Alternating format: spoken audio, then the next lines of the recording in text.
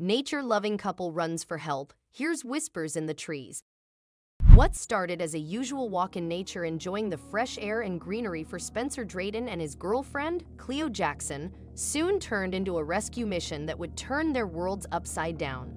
The couple were admiring the beautiful landscape of Utah's American Fork Canyon and clearing their minds from the noise of the big city when the sound of chirping birds was suddenly silenced with muffled screams coming from a tree.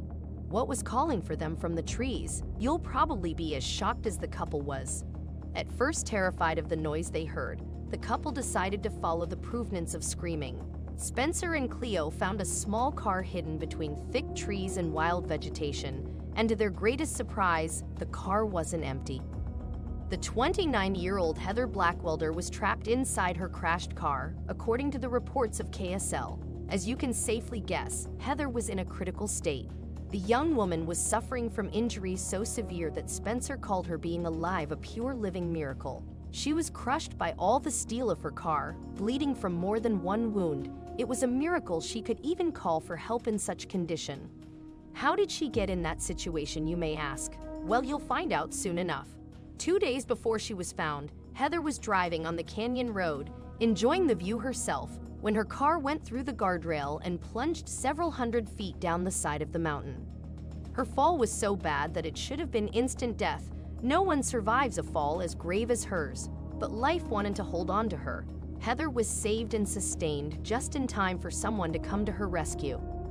As life would have it, her rescue was none other than Spencer and his girlfriend Cleo, who had the good heart to follow her screams through the woods. Decidedly, life couldn't just let go of her. The day of her unfortunate accident, Heather was completely on her own. She was trapped in a mess of steel, losing a lot of blood. Her hours were numbered, and had the couple not come to her rescue when they did, they could have been her last. The odd thing is that even though the young woman had been missing for two whole days, nobody reported her missing, which is why no one came looking for her earlier. Thankfully, the nature-loving couple were there at the right time. When Spencer and Cleo found her, he decided to stay with her while his girlfriend ran to Mutual Dell to call for help as fast as she could. Luckily, personnel from Utah County Sheriff's Office Search and Rescue, Lone Peak Fire Department, and Life Flight all responded after the call was made. They were all stunned at the condition Heather was in given the fact that she'd been stuck there for quite some time, after what could have been a deadly fall.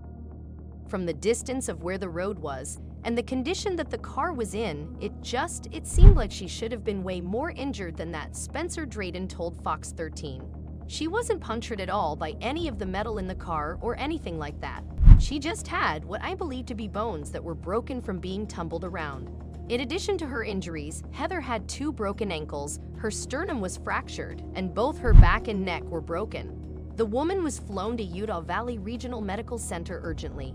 The doctors told her that her injuries could turn her into a quadriplegic, at the very least, a paraplegic. Heather wasn't going to be able to walk again, and even if she did, it might take years to regain normal walking. Were they right? That's what we will know in few. Despite all the odds that weren't in her favor, Heather is actually back on her feet and was able to go back to her normal life. She is working and conducts her daily matters in a normal way. Heather says that her survival and recovery are miracles. She is most grateful to Spencer and Cleo for finding her in time and to God for putting this couple on a path. The doctors who worked on her neck and her feet were amazed at how well everything went back together, said Bonnie McMullen, Heather Blackwelder's mom. One time in the hospital, while she was sleeping, they stood there, amazed that her neck healed so miraculously. She continues, Had somebody not found her today, or the next day or so, she would have died, Sergeant. Spencer Cannon with the Utah County Sheriff's Office said in a statement, It could literally have been years before she was found. The area is not a hiking trail, it's not a llama trail. It has thick trees and is on the side of the mountain. The car could have been well rusted before she was found, he continued. Miracles happen every day, and even for those who don't believe in God's mysterious ways, Heather's story is surely a great evidence that miracles exist, and only the lucky ones can witness their greatness.